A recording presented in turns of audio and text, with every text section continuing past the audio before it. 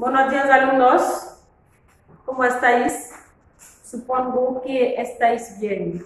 Estoy bien también. Soy señor. Y esta mañana vamos a hacer una clase de nivel tercera. No como de costumbre con los alumnos, pero hoy mediante Internet. Y pienso que eso no será difícil, será fácil de comprensión como en clase. Para empezar, pues, prestad atención porque voy a presentar la situación de aprendizaje. Escuchad, pues. El cumpleaños de tu amigo de la clase de tercera 1 del colegio Isca es celebrado por sus padres. Estos ofrecen la comida, la bebida y proponen muchos platos. Cada invitado elige un plato. El día siguiente, durante la clase de español, cada alumno recuerda el plato elegido y explica su elección. Después usan las expresiones de esta elección y se expresan con ellas. Hoy, tú, quien me está mirando, vas a utilizar primero las expresiones de los gustos y aficiones. Después, vas a utilizarlos para expresarte. En tercer lugar, vas a expresar simplemente los gustos y las aficiones. ¿Cómo lo vas a hacer? Lo vas a hacer a través de los elementos lingüísticos, que son el vocabulario y la gramática. Bien. Hablando del capítulo del vocabulario, alguien para decirme, cuando quieres hablar de algo que quieres, ¿qué palabra puedes utilizar? Repito, ¿qué palabras o expresiones puedes utilizar para expresar algo que ama o amas o quieres? De acuerdo, el gusto. El gusto porque es algo que queremos. Vamos a hacer una frase con el gusto. Los jóvenes tienen un gusto pronunciado de la ética. En segundo lugar, vamos a buscar otra expresión ¿no? en relación con la primera palabra, el gusto. Tenemos aquí agradar. Una frase con agradar, al joven le agradan los vegetales. Tercera posibilidad, buscamos una palabra que expresa siempre el gusto.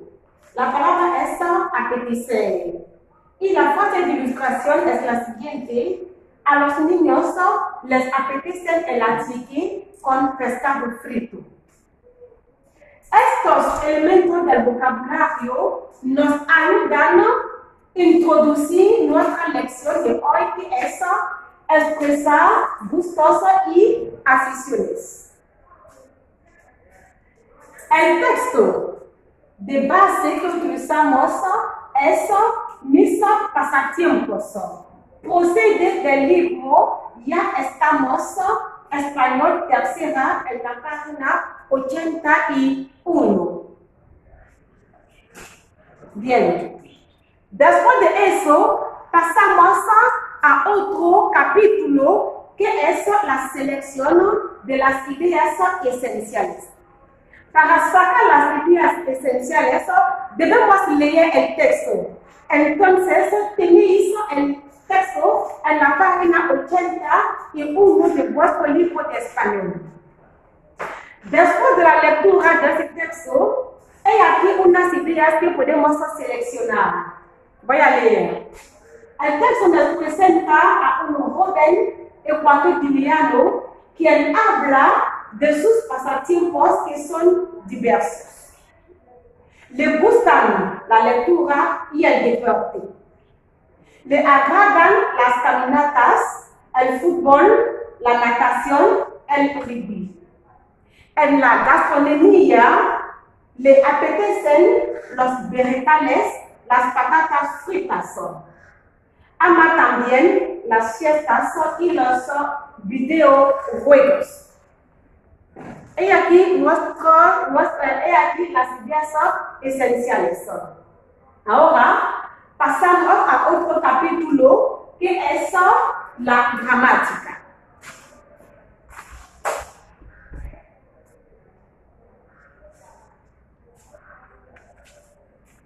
Tenemos el campus con dos frases que voy a leer.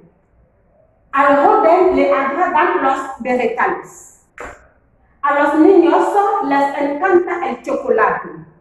Mirad, en, esta, en estas frases, ¿cuáles son las palabras o expresiones subrayadas? De acuerdo, vemos agradar y encanta. Su infinitivo son respectivamente agradar y encantar. ¿A qué sirven estas expresiones? Sirven a expresar los gustos y las aficiones. Entonces, esta mañana, como título de gramática, vamos a ver el uso de los verbos agradar, apetecer, gustar y encantar. La regla. Los verbos agradar, apetecer, gustar y encantar se usan para expresar el gusto. Y la particularidad de estos verbos es que se utilizan en la tercera persona del plural o en la tercera persona del singular. Es decir, que el verbo concuerda con el complemento y no con el sujeto. Ejemplo, me gustan los frutos. ¿Ves que el complemento es, los frutos son? Y aquí tenemos encantan en la tercera persona de lo plural. Segunda frase, te agrada el cine. Perdón, el complemento es cine. Agrada es en la tercera persona del singular. Aparte de estos verbos, podemos usar los verbos amar, querer, aficionar, para expresar también los gustos y las aficiones. Para recapitular, en este punto de gramática tenemos los verbos agradar, apetecer, gustar, encantar, amar, querer, aficionar, que podemos usar para expresar los gustos y las aficiones. Bien. Después de la gramática, pasamos a la evaluación. ¿En qué consiste esta evaluación? Consiste en averiguar los conocimientos, es decir, si habéis comprendido lo que acabamos de hacer. Es un ejercicio de aplicación. Escuchad pues la evaluación. Procede de vuestro libro, ya estamos en la página 80. Es el ejercicio de solucionar. La Embajada de Guinea Ecuatorial en Costa de Marfil ofrece becas de viaje a los mejores alumnos de tu colegio. Los organizadores quieren saber los gustos de los participantes. Tú formas parte de los seleccionados. Escribes un email para informarles. Uno, cita algunas fórmulas de gusto. Dos, redacta el correo electrónico. Ejercicio de aplicación también. Expresa gustos y aficiones con las ideas siguientes. Ver documentales, jugar al fútbol, viajar por el mundo, decir cuentos, comer paellas. Estos ejercicios se deben hacer, ya que no podemos encontrarnos, hay aquí una dirección email. Podéis enviar el ejercicio a esta dirección. Yo coliré el ejercicio y la próxima vez haremos la corrección. Terminamos así esta ciencia. Muchas gracias por vuestra atención y no olvidar que los exámenes tendrán lugar. Entonces, estudiar y hasta luego. Adiós.